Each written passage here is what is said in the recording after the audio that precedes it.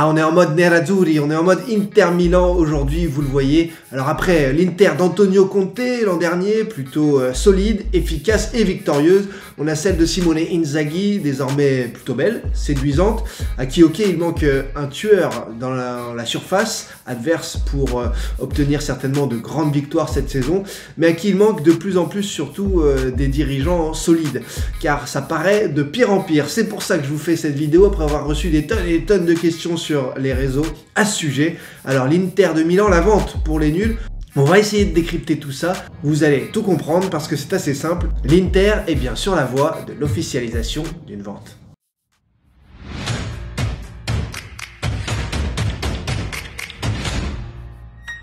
Salut tout le monde, bienvenue, installez-vous confortablement. Encore une fois, merci à tous les nouveaux abonnés, à ceux qui like, qui partagent, vous savez comment ça fonctionne. Vous savez que ça me donne de la force énormément pour faire venir toujours plus de splendides invités, organiser encore plus de live ouverts à tous. Vous êtes là avec moi en visio, on kiffe, ou dans les commentaires pour partager ensemble entre passionnés. Vous connaissez, alors c'est parti. C'était un secret pour personne, l'Inter Milan est sur la voie d'une future officialisation euh, de vente, bien sûr, pour entrer dans le nouvel écosystème sportif et footballistique euh, du royaume saoudien. Vous avez compris euh, depuis les nombreux échos de la presse étrangère, ça va arriver, on se le dit, on voit que ça se met en place, mais comment c'est possible? Qu'est-ce qui se met réellement en place derrière la façade, la vitrine Inter Milan? C'est pour ça justement que je vous fais cette vidéo 30 juin 2021. Cette année, le club accusé 245 millions de déficit c'est colossal, des pertes donc énormes pour euh, ce club. Alors vous allez me dire, oui, ça ressemble à d'autres clubs, notamment en, France, surtout euh, à beaucoup de clubs en période de Covid. On va pas pointer du doigt spécialement l'Inter, mais l'Inter est en position ultra, ultra délicate financièrement. Peut-être encore plus que certains clubs, et pourquoi On va le voir justement dans un instant. Vous le savez, derrière l'Inter Milan, depuis 2016, ce sont euh, les Chinois de Sunning. Sunning, qu'est-ce que c'est? C'est un géant de, des produits électroniques euh, sauf que, euh, petit problème, depuis euh, janvier, ils ont dit ouvertement, publiquement, qu'ils comptaient se désengager complètement du football. Sauf que quand vous possédez des clubs, c'est panique à bord. Alors, principal fait d'armes récent à l'arrivée, ils ont décidé de se désengager totalement du champion de Chine en titre. Covid plus désengagement égale euh, un club euh, en faillite, un club qui a mis la clé sous la porte. Ils sont donc partis avec perte et fracas. Difficile de l'imaginer du côté de l'Inter Milan tant ça aurait euh, des retentissements énormes dans les relations même entre l'Italie et la Chine. Voilà, on ne délaisse pas un joyau de la couronne, si tant est qu'il y ait euh, une couronne en Italie. Peu importe, vous avez compris euh, l'importance de la diplomatie également dans ces problèmes-là. Donc, Sunning ne peut pas quitter euh, l'Inter Milan, n'importe comment, ne peut pas mettre la clé sous la porte, ne peut pas euh, laisser le club euh, à l'abandon. Donc voilà la, situation réelle et actuelle, mais en tout cas ça vous dit bien ce qui se passe avec Sunning. Il faut donc programmer une transition en douceur, gagnant-gagnant, vous avez compris dans ces situations économiques, on est bien loin du sportif à ce moment-là. Les ressemblances avec des clubs vendus officiellement ou pas d'ailleurs sont assez troublantes, vous me l'accorderez facilement. Octobre, euh, donc sortie médiatique du président Steven Zhang pour réaffirmer son attachement, son attachement à l'Inter Milan après des jours et des jours d'intenses rumeurs euh, relayées par la presse dans le monde entier, venues notamment du bien informé Tutto Mercato Web, euh, une nouvelle fois de Gianluca Di Marzio ou encore d'autres éminents journalistes de pays étrangers. Steven Zhang. Good morning, Arzuri family. Many were rumors surrounded by the clubs. And about the commitment of the ownership. However, none of them are true. Whereas where one of the clubs are always surrounded by uh, spotlight, speculations, rumors. However, we just have to stay focused, only care about what matters, and putting our efforts, works, focus on our true goals, objectives, and good of the club in the long term. Forza Inter, sempre. Grazie. Voilà, voilà, voilà, le grand classique parmi euh, les déclarations de patrons qui sont en train de céder un club, qui ont déjà signé, qui n'ont pas encore officialisé. Je ne sais pas encore si du côté de l'Inter c'est déjà signé. Pour le coup, euh, là, je n'ai pas les preuves. Pour autant, on voit que c'est un, un, sacré cirque. Voilà, euh, ce sont c'est toujours une grande stratégie de communication à mettre en place pour préserver aussi un certain secret des affaires. D'ailleurs, l'important aussi, c'est de vous dire qui est Steven Zang parce que c'est un personnage finalement qui est rentré dans le foot et euh, qui a fait énormément parler de lui. Le Sunning a récupéré l'Inter Milan en 2016. Lui, Steven Zang, est arrivé euh, 2000, euh, il avait 27-28 ans, il est arrivé deux ans après, 2018, euh, parce que c'est devenu le plus jeune propriétaire président d'un club de football, normal. il est alors à ce moment-là donc à 100% à la tête de l'Inter, puisqu'en 2016 c'était pas exactement le cas. Steven, c'est donc le fils du président euh, de Sunning, Jin-dong Zhang. Alors lui, euh, il a fait ses études aux États-Unis, il a bossé pour euh, Morgan Stanley, ensuite il est reparti en Chine, il est revenu, il est arrivé à Milan, amoureux des Nerazzurri, il s'est placé comme conseiller avant de devenir président donc en 2018, un parcours absolument fou à 25, 26, 27 ans. Vous, je ne pense pas que vous ayez à peu près fait ce genre de choses, moi non plus. à 25 piges, on n'en était pas vraiment là à mon avis, mais peu importe, chacun sa vie, chacun ses problèmes, puisque derrière ça, certes, il arrive jusqu'au Scudetto, 11 ans après, phénoménal, mais d'énormes problèmes financiers de Sunning les obligent petit à petit à, vouloir se désengager et euh, peut-être avec précipitation, mais il faut trouver le bon ressort gagnant-gagnant pour sortir là aussi par la grande porte. La famille Zhang a donc perdu euh, le contrôle majoritaire de Sunning en 2021. Vous avez donc Sunning qui possède l'Inter, le, le fils Zhang à la tête de l'Inter, mais il n'est plus majoritaire de la société qui possède l'Inter. Ça pose quand même euh, souci, ça fait euh, s'interroger forcément. Sunning en difficulté, c'est donc l'Inter Milan qui doit survivre. Et comment on fait dans ces cas-là On fait appel à Octree. Octree Capital Management, qu'est-ce que c'est? Ça vous dit quelque chose certainement pour ceux qui suivent le foot français, c'est l'actionnaire majoritaire du stade Malherbe de Caen. Et oui, des Américains, encore une fois, autour de l'Arabie Saoudite, autour de la Chine, il y a ce lien américain. Alors, donc, Oaktree Management, euh, Capital Management qui est dans les parages et qui va faire un prêt de 275 millions d'euros. Jackpot, vous avez gagné au loto. Le problème, c'est qu'il faut le rembourser d'ici 3 ans. Alors, un club de foot qui arrive à se refaire 100 millions par an pour rembourser donc 275 d'ici 3 ans, j'ai jamais vu ça hein, encore, en, tout cas dans la formule récente. Un club qui dégage autant euh, d'argent pour pouvoir rembourser de telles sommes, va falloir euh, plus que vendre de, très très bons joueurs. Là, c'est quelque chose d'assez impensable. Donc on comprend là aussi ce prêt venu d'une société extérieure qui permet de faire vivre le club en attendant que en attendant quoi? En attendant par exemple l'arrivée de deux administrateurs qui ont été euh, nommés au conseil d'administration de l'Inter Milan récemment. Alors il y a Carlo Marchetti et il y a Amedeo Carasai. Amedeo, Amedeo, quand je dis Amedeo, ça me fait penser à Amedeo Sinalia dans Subura. J'ai fait une petite digression là pour ceux qui connaissent la série, elle est pas mal, elle est pas mal. Bref, euh, ces deux administrateurs sont venus euh, voir un match, notamment euh, celui face à la Juve, à Giuseppe Meazza. Ils ont visité, ils étaient présents, ça s'est ça s'est su. donc tout ça avec l'accord d'Octree et de Sunning, une société donc américaine qui vient prêter de l'argent colossal. ça rappelle JP Morgan, Frank McCourt, bien sûr. Bref, vous avez compris, les loups sont dans la bergerie et la transition est en cours. Petite parenthèse juste pour vous dire qu'on parle toujours de Sunning en tant que propriétaire de l'Inter Milan. Sunning passe par une société luxembourgeoise, beaucoup de choses se passent au Luxembourg, de transactions, de voilà, de, dans ce, monde économique autour du football, euh, Luxembourg est assez euh, central et euh, donc c'est Great Horizon SARL qui est en fait le, détenteur de, de l'Inter Milan tout simplement.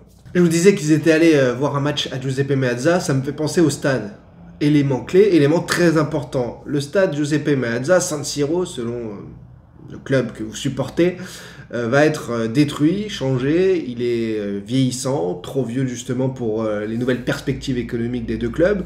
Donc, le maire de Milan, Giuseppe Sala, vient de l'annoncer publiquement. Le conseil municipal a accordé le feu vert pour euh, la construction du nouveau stade de Milan. Il verra le jour euh, en 2027, 60 000 places à côté de l'illustre Giuseppe Meazza. Sunning ne pourra donc pas attendre 6 ans vu comme ils sont comme ça et qu'ils ont annoncé cette année qu'ils se désengageaient du football, il va falloir passer la main bien avant. L'ère saoudienne s'entamera donc forcément avec cette création de nouveaux stades qui vont pouvoir euh, mettre euh, à leur sauce certainement, qui vont pouvoir euh, créer à leur façon pour rentrer dans leur écosystème et dans leur projet économique. Voilà pour la petite partie stade qui se décante actuellement, vous l'avez compris, et qui vous montre l'impact, la puissance de l'apport d'un stade dans un projet économique des années donc 2020 pour un club de foot et surtout dans un écosystème aussi puissant que ce qui arrive à l'Inter ou ailleurs. Mais je n'ai pas fini. Vous voulez des liens entre la Chine, l'Arabie Saoudite, autres un petit peu extérieurs à l'Inter Milan Je vous en donne pour que vous ayez les clés de compréhension. C'est parti. Alors, parlons euh, d'Alibaba. Alibaba, c'est le géant du commerce mondial. Vous en entendez régulièrement parler dans euh, les grandes entreprises multinationales désormais qui planent sur euh, notre ère, notre société. Alors, le principal actionnaire d'Alibaba, eh ben, c'est qui? À hauteur de plus de 25%, qui a cru dès 2000 alors que Alibaba n'était qu'une start-up, c'est SoftBank, cette fameuse banque euh, d'investissement. Ceux qui suivent ma chaîne YouTube sont au courant, connaissent un petit peu les rouages de SoftBank. Euh, en tout cas, le lien donc date il y a plus de 20 ans déjà entre les deux sociétés, qui, qui sont vraiment euh, partenaires privilégiés, on peut le dire. Et vous savez quoi? Sunning, oui, on revient à Sunning, le, les produits électroniques est désormais propriété d'Alibaba. Eh ben oui, eh ben oui, eh ben voilà. Depuis cet été, bingo, donc Sunning est propriété d'Alibaba, donc euh, aussi euh, de SoftBank, et SoftBank euh, réalise des investissements, notamment pour l'Arabie Saoudite. Ah, voilà le lien qui euh, quand même se fait très naturellement, très simplement, et qui n'est absolument pas caché. Hein. Je ne vous dévoile pas de secret. Euh, ça se sait dans le monde des affaires, c'est du classique. On passe juste par d'autres sociétés, d'autres moyens d'investissement. C'est juste euh, contourné, mais il n'y a rien d'illégal, il n'y a rien de, fondamentalement top secret. Donc, pour ceux qui sont largués un peu concernant SoftBank, faut vous dire que au niveau du conseil d'administration, l'un des membres et euh, le gouverneur du PIF, le fonds d'investissement, euh, le fonds souverain euh, public saoudien, c'est Yassir Al-Roumayan, pardon. Alors Yassir Al-Roumayan, donc d'un côté gouverneur du PIF, du fonds d'investissement saoudien, du fonds souverain, et de l'autre côté membre du conseil d'administration de SoftBank, SoftBank qui est Alibaba, Alibaba qui possède Sunning, Sunning qui possède l'Inter Milan. Est-ce que j'ai été clair? Dites-moi dans les commentaires. Du côté de SoftBank, quand même, il faut vous en parler. Le patron, c'est Masayoshi Son, qui lui est au board d'Alibaba. Voilà, ils sont tous dans les mêmes réseaux, dans la même toile d'araignée, dans le même écosystème.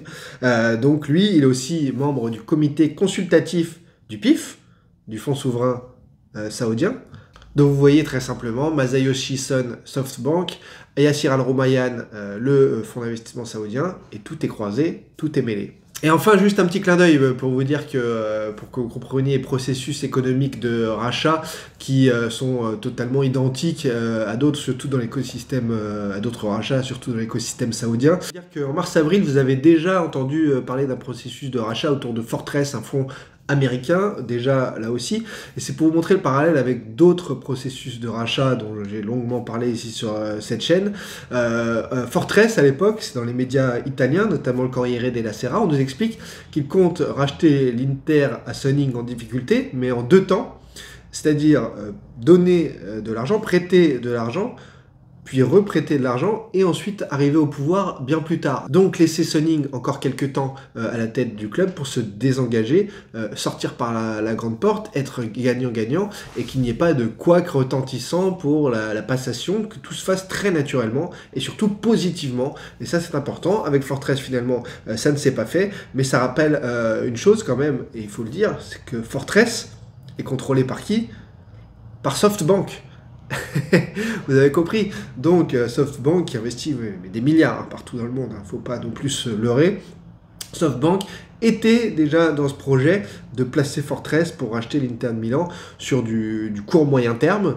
Euh, sauf que ça ne s'est pas fait, c'est un autre processus qui s'est engagé avec euh, cet écosystème saoudien qui se met en place dans le foot autour de plusieurs clubs, et donc le, fonds d'investissement saoudien euh, se rapproche de, de, l'Inter Milan, à pas de loup comme vous le voyez, et tout à l'heure je disais que les loups étaient dans la bergerie, oui, ils y sont déjà. Voilà, amis supporters de l'Inter ou autres curieux de ce monde du foot qui est devenu une bulle économique incroyable et un moyen de prospérer dans ce monde, de se faire connaître. Euh, ce football euh, est intéressant sur le terrain, il est hyper intéressant dans les coulisses et dans tout ce qui se trame.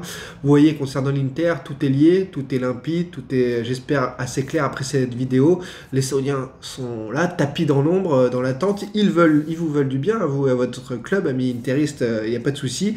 Euh, mais ils font face, parfois, dans ces rachats Covid, post-Covid, à des bêtes blessées qui ne veulent pas partir la queue entre les jambes et qui ont besoin donc d'une stratégie diplomatique, politique pour euh, faire une transition hyper positive pour euh, tout le monde et on le voit et ça va se faire. D'autant que ces clubs qui, possèdent, euh, même en étant en fragilité économique, qui possèdent des entités aussi fortes que l'Inter Milan, savent ils sont aussi en position de force. Euh, voilà, il y a, des deux côtés un rapport de force qui s'engage dans une vente et il faut trouver euh, le juste milieu et il faut trouver la meilleure solution et c'est parfois en effet euh, au détriment des supporters. L'important pour eux c'est de sortir la tête haute, de euh, ne pas rater euh, sa communication. Et du côté des Saoudiens, c'est l'important, c'est d'entrer dans le football à petits pas, de mettre en place un écosystème qui ne soit pas celui des Qataris. Il ne faut pas se tromper, ce ne sont pas du tout les mêmes euh, politiques. Il n'y a, a, pas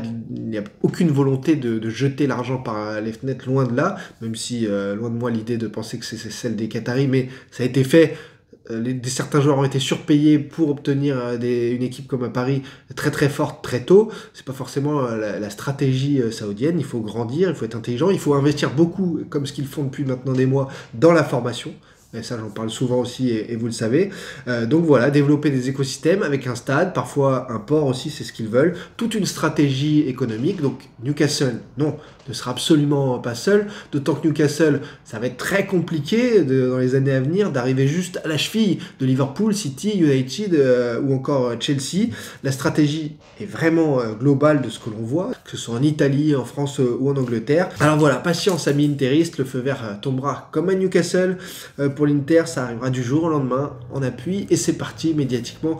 L'explosion donc et la joie certainement des supporters d'avoir des projets toujours plus ambitieux qui, euh, un projet qui arrivera donc avec euh, aussi un, nouveau stade euh, dans, la foulée qui sortira apparemment de terre, inauguration 2027, on espère qu'il n'y ait pas de retard là-dessus. Voilà, merci d'avoir suivi ça, ce débrief de la vente de l'Inter pour les nuls qui se prépare petit à petit, vous le voyez. On peut en reparler directement très bientôt en live ensemble pour débriefer la situation. voilà, et n'hésitez pas à poser vos questions dans les commentaires, j'y reviendrai.